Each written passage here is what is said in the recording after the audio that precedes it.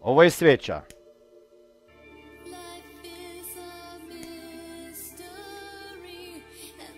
Jednog dana, kad ste se rodili, neko upalio vašu svijeću.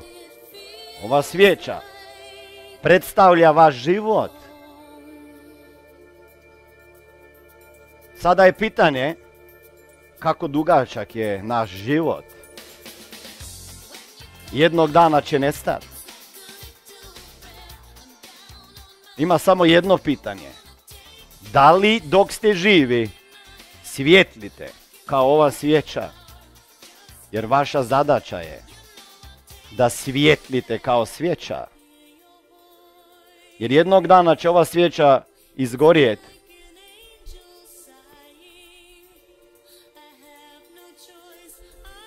I onda se postavlja samo jedno pitanje. I to pitanje se glasi. Na koliko života i na koliko ljudi ste utjecali pozitivno dok ste bili živi? Na koliko ljudi ste utjecali pozitivno dok ste bili živi? Da li ste dali sve od sebe? Da li ste izašli iz one udobnosti i slijedili svoje snove? Da li ste radili nešto što se niste usudili? Jer kada je svega kraj, šta onda? Šta ostaje iza nas? Šta ostaje iza vas? Dragi moji, ako bi mi neko rekao prije 23 godine, 24, kada sam od mame posuđivao novac za benzin, ako bi mi neko rekao da ću jednog dana predavati ispred više, sada je više od pola milijuna ljudi. Bog zna gdje ćemo otići sa ovom tehnologijom. Ako bi mi neko rekao da ću predavati ispred pola milijuna ljudi jednog dana, ja bi mu rekao da je lud. Ja bi mu rekao da je lud. O čemu ću pričati, o čemu će predavati? Kad nisam imao prebijene pare od džepa, zato vama kažem. Nikada ne znate na koliko ljudi ćete utjecati, jer jednog dana kad sam ja prolazio banke, uklopili su se alarmi, ono, Znam kako je kad nemaš 35 eura za, za, za, za seminar, sve mi je jasno. Bio sam tamo, bio sam tamo. I ako bi neko rekao da ću utjecat na takvu masu ljudi, ja bih rekao da je lud, o čemu ću pričat. Da ću pisat knjige, da će ljudi čitati. To bez veze. Pa ko bi to vjerovao? Zato vama kažem, ne znate šta možete dok ne napravite, kao što je Helena rekla, prvi korak. Ne znate šta možete dok ne napravite prvi korak. Možda imate knjigu u sebi da ju napišete. Možda imate priču da ju ispričate.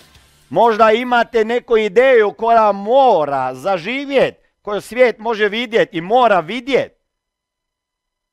Ali ako nećete riješiti se onog straha i, i dati sve od sebe i imati pravi mindset, neće se desiti ništa.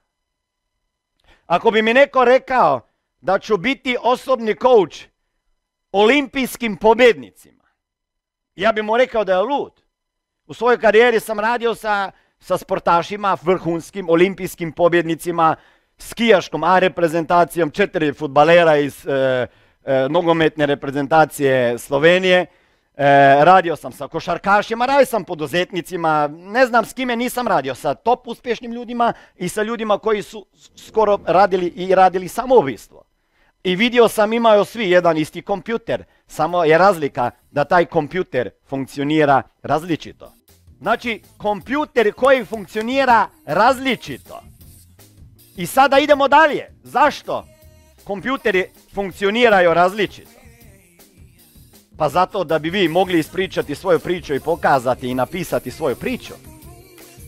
Koju priču imate u sebi koja još nije zaživjela i koju svijet još nije vidio? Koga možete inspirirati sa svojom pričom? Znam da neki od vas možda imate najlošiju godinu. Ali svaka najlošija godina može služiti kao katapult za najbolju godinu. Možete promijeniti najlošiji dan u životu u najbolji dan u životu. Ako bi mi neko rekao da ću biti jednog dana na svim, u svim novinama, nekada i na televizijama i tamo gdje ne bi trebao biti i u emisijama koje ne bih sam išao, ja bih mu rekao da je lud. Ali svijet će prepoznati vaš dijamant, a na putu do toga naći ćete ljude koji će vama pomagat prema boljoj budućnosti. To su ljudi koji će vama na put stavljati razne prepreke. Ako mislite da je put do uspjeha autoput, vi se varate. Vi se varate. Nisam tako pametan da bi ja sve sam izmislio. U svojoj karijeri radio sam, radio sam sa najboljim ljudima, učio od najboljih ljudi, investirao u ovu glavu više od milijun eura u razne coachinge, seminare, ne znam šta još nisam investirao, ulagao u sebe. I intervjuao milionare, milionaše. I to je sve super što je sada, ali nekada nije bilo tako.